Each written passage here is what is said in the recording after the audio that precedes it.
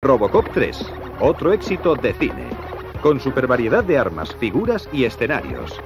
Solo Super Nintendo te pone a este superhéroe en tu propia pantalla, de película.